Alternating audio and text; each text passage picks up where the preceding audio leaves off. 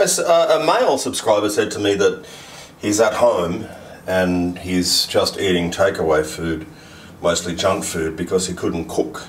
This to me is completely unacceptable. And so, all I've got here is just stuff that you can just like easily make an absolutely delicious dish. I bought this yesterday, as you saw. Um, carrot, choko, garlic, onion, salt that I've got in a dodgy old container, actually from a beautiful subscriber who visited me and brought me this Rugenic um, super detox drink. And so I've already finished all of that, so thank you so much, beautiful. And then I've actually got sugar. Okay, maybe not the healthiest, but uh, you gotta have a good oil. So this is like an Australian oil, extra virgin oil, and it's one of the two good ones in Australia. Don't use crap oil; you won't have any taste. And also for the blokes, and you know, for lazy people, get yourself a decent container, make a bunch of food, and chuck it in the fridge. It's not going to be perfect because you need to, you know, basically cook fresh.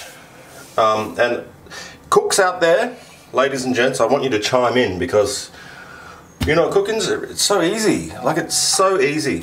You just need some good ingredients, keep them fresh, and um, go for it.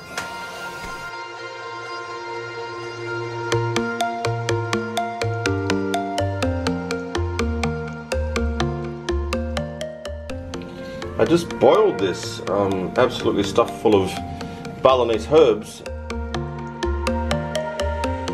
So there's the remainder of the herbs. There was um, dried chili, coriander seeds, black pepper, salt, um, basil, uh, star anise, saffron. You believe? Oh my god, it's insane. But then, but then there's no way you can know that.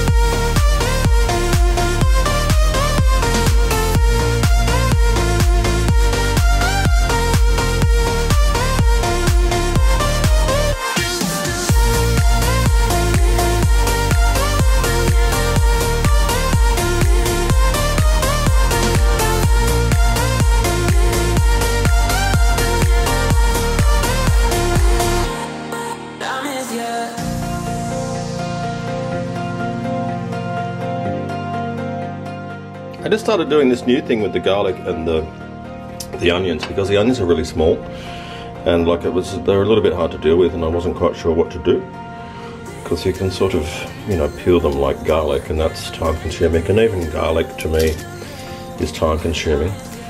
So I am frying them off like really hot. Well as hot as it gets.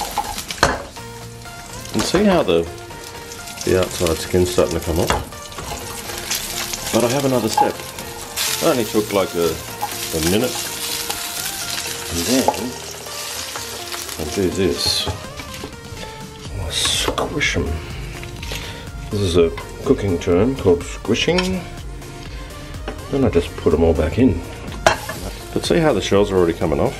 Then I pick them out with these.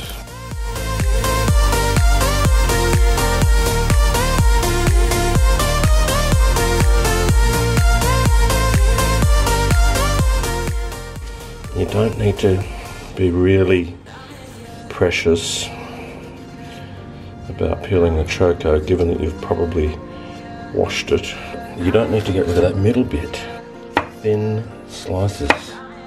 In Australia in the old days, we used to, or Mum used to, uh, God, I miss Mum, um, used to